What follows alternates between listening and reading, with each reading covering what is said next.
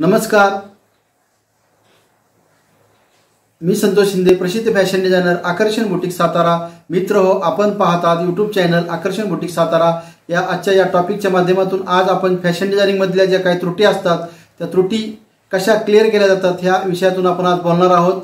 आजचा जो सब्जेक्ट आहे आजचा जो टॉपिक आहे या टॉपिकचं नाव आहे अरेंजमेंट तर अरेंजमेंट म्हणजे रचना. रचना म्हणजे तुमच्या दुकानाचा डिस्प्ले कसा हवा आहे ह्या सगळ्या गोष्टी आपण ह्या व्हिडिओच्या माध्यमातून आज क्लिअर करणार आहोत. सांगायची गोष्ट अशी की प्रत्येकजण नवीन व्यवसायामध्ये येत असतं आणि व्यवसाय चालू करत असताना दुकानाचं बिलबुक कसं असावं दुकानाचा डिस्प्ले कसा असावा तुम्ही दुकानामध्ये तुमचे ब्लाऊज किंवा ड्रेस पंजाबी ड्रेस असे काही स्टिच केले जातात आणि स्टिच केल्यानंतर तुम्ही जे तुम्ही इस्त्री न मारता कस्टमरला देता ह्या चुकीचं आहे. त्यानंतर जे पीस जे नग तुम्ही इस्त्री मारता ते इस्त्री मारलेले ड्रेस हँगर टच जातात का? स्टॅच्यूला जातात का? किंवा तुमच्या दुकानामध्ये असे शोल्डर डाऊनचे स्टॅच्यू असतील हॅ हँगर असतील तर ते काय करा तुम्ही? वापरू नका. तुम्हाला असे स्ट्रेट हँगर मिळतात. ते तुम्ही मार्केटमधून शोधा. त्यानंतर दुसरी गोष्ट अशी की तुम्हाला जर स्टॅच्यू जास्त महाग नसतात ऐंशी नव्वद रुपये ते शंभर रुपयापर्यंत एक स्टॅच्यू जातो. ड्रेसचा स्टॅच्यू असेल किंवा ब्लाऊजचा स्टॅच्यू असेल हे ऐंशी आणि नव्वद शंभरच्या रेंजमध्ये स्टॅच्यू मार्केटमध्ये मिळतात. तर तुम्ही ते स्टॅच्यू आणा. दुकानाचा डिस्प्ले स्टॅच्यूला डिझाईनचा ब्लाऊज लावा. डिझाईनचा ब्लाऊज स्टॅच्यू लावल्यानंतर कस्टमर बघून ते आकर्षित होईल. त्यानंतर दुसरी दुसरी गोष्ट अशी की तुमचा ड्रेसचा जो पॅटर्न असेल ड्रेससुद्धा असं कमरेत वगैरे तुम्ही स्टॅच्यूला जर लावला असं पाठीमागं पिन लावून तर किती सुंदर ड्रेस दिसतो.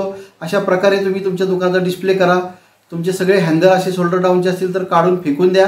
दुसरी गोष्ट स्ट्रेट हँगर आणा. ब्लाऊजचे स्टॅच्यू आणा त्यानंतर दुकानाचं बिलबुक तुम्हाला कशा स्वरूपात पाहिजे तुम्हाला माझ्या डिस्प्ले मी त्या याच्यामध्ये देईल स्क्रीनमध्ये की बिलबुक तुम्हाला अशा अशा प्रकारे बिलबुक तयार करा.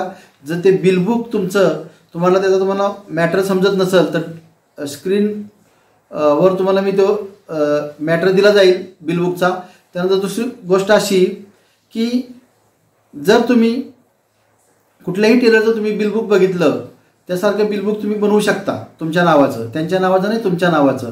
दुसरी दुस दुसरी गोष्ट अशी की मार्केटमध्ये कस्टमरला तुम्ही बिल जर दिलं तर जी तुमची शिलाई असेल चारशे पाचशे ब्लाऊजची तर कस्टमर तुम्हाला ती बिल घेऊन येऊन ती शिलाईसुद्धा तशीच पेड करत जर तुम्ही बिल नाही दिलं तर कस्टमर तुम्हाला काहीतरी कमी करा काहीतरी कमी करा.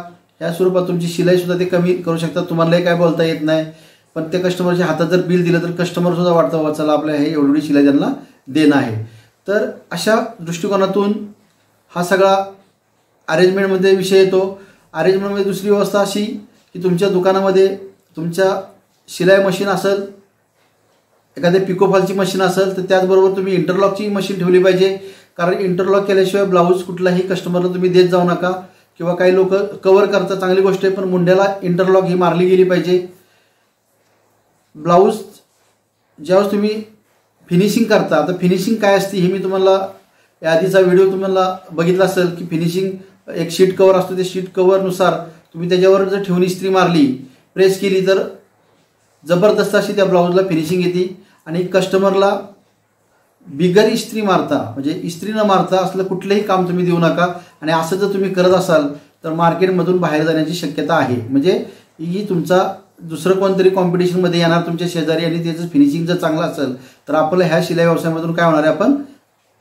मग आपल्याला बिझनेस कमी होणार. मग असं का होतं यातले प्रॉब्लेम तुमचे तुम्हाला कळणार नाही आहेत तर यासाठी आपणही परफेक्ट असलं पाहिजे. तुमच्या काय फॅशन डिझायनिंगमधल्या ज्या काही त्रुटी असतील काही अडचणी असतील ते ह्या आकर्षण बुटीक सातारा यूट्यूब चॅनलला सबस्क्राईब केल्यानंतर प्रत्येक व्हिडिओमध्ये त्याचं सोल्युशन भेटेल तुम्हाला. त्यानंतर ब्लाऊजचा जो विषय आहे की ब्लाऊज शिवता तुम्ही एक नेक्स्ट व्हिडिओ येते माझा ब्लाऊजचा की जे तुम्ही बगलमध्ये म्हणजे काखेमध्ये इथं ज्या साईडला जे शंटर असतो ब्लाऊजचा जे भाई लावतो तिथं असा अर्धा इंच अर्धा इंच म्हणजे जास्त नाही कुणाचा पाव इंच तर कुणाचा अर्धा इंच हा असा फरक निघला जातो. म्हणजे काय होतं खालीवर होतो. त्यानंतर ब्लाऊज असा फिरला जातो किंवा कटोरी ब्लाऊजचा टक्स फिरला जातो. ह्या सगळ्या व्हिडिओ माझ्या यूट्यूबला येणार आहेत. तर आकर्षण बुटीक सातारा या यूट्यूब चॅनलला तुम्ही सबस्क्राईब करा म्हणजे तुम्हाला ह्या सगळ्या व्हिडिओ मिळतील. की ब्लाऊजचं आता जे अस्तर असतं ते तुम्ही याच्यावर शिलाईमध्ये काय काय टेलर शिवतात. तर ते शिलाईमध्ये न हे करता जे फिविकॉल असतो त्या फिविकॉलच्या साईडला जर ठिपके मारून जर ते प्रेस केलं तर इतका जबरदस्त ब्लाऊज म्हणजे फिनिशिंगमध्ये येतो. त्याला कुठेही रिंकल येत नाही. हा व्हिडिओसुद्धा आमचा उद्या परवा यूट्यूबला येईल. तर अशा प्रकारे तुमच्या दुकानाचं अरेंजमेंट तुमच्या दुकानामधला एक टेबल असावा तुमच्या दुकानामध्ये जे मेजर टेप असतो आपण तोही कुठला असावा लागतो. तो कापडी मेजर टेप येतो. कापडी म्हणजे जरा थोडंसं असं वेगळा असतो मेजरमेंट प्लॅस्टिकमधला येतो तो मेजर टेप वा वापरायचा नसतो. दुसरी गोष्ट अशी की तुमच्याकडे कैची ही दहा नंबर बारा नंबर अशी कैची पाहिजे. आठ नंबर कैची ह्या लाईनमध्ये चालत नाही आहे असेल तर ती वरलाचा दोरा कट करण्यासाठी वापरा किंवा असे किरकोळसाठी वापरा. पण कटिंगसाठी तुम्हाला दहा नंबर आणि बारा नंबर कैचीचा वापर करा. त्याने खूप दोन दोन तीन तीन चार चार पीस कट करता येतात. त्यानंतर तुमच्या दुकानामध्ये कस्टमरला एक बसण्यासाठी किंवा जर कोण आलं तर तिथं त्यांना त्याची व्यवस्था पाहिजे. ह्या सगळ्या गोष्टी तुमच्या दुकानामध्ये. म्हणजे आपल्याला ज्या लागणाऱ्या गोष्टी आहेत ह्या फॅशन डिझायनिंगमध्ये तुमच्या ज्या बुटीकमध्ये की शिलाई मशीन आला टेबल काउंटर आला त्यानंतर कैची आली ह्या सगळ्या ज्या गोष्टी आहेत ह्या तुमच्याकडं व्यवस्थित असल्या पाहिजेत. आणि दुसरी गोष्ट अशी की तुम्ही जे एकटं काम करता स्वतःच काम करता असं वाटतं की बाबा नको कुणाला आपल्या स्टाफ ठेवायला की त्याला पैसे द्यावे लागतात. असं करू नका. तुमच्या हाताखाली एक दोन स्टाफ हायर करा. त्यानंतर तुमची कशी होईल? प्रगती होत जाईल. कारण त्याला काही फरक पडत नाही पैसे दिले तर. कारण तुम्ही जे नग शिवता ज्या नगाची शिलाई तीनशे घेत असताल किंवा चारशे घेत असताल तर उदाहरणार्थ त्याला तिसरा हिस्सा द्यावा लागतो. त्यात राहिलेले जे काय तुमचे जे पैसे असतात त्यात सुद्धा तुम्हाला प्रॉफिट मिळत असतं.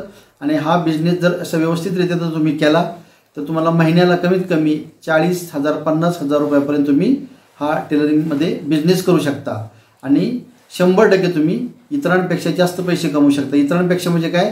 की जे बाहेर काय जे जॉब करतात जे पंधरा हजार वीस हजार ते अशापेक्षाही तुम्ही इथं जास्त पैसे करू शकता.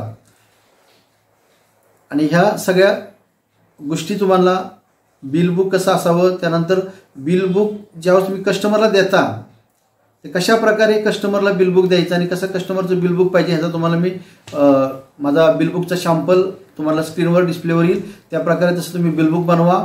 आणि मित्र तुम्हाला हा व्हिडिओ कसा वाटला इथं मी थांबतो. जय हिंद जय महाराष्ट्र.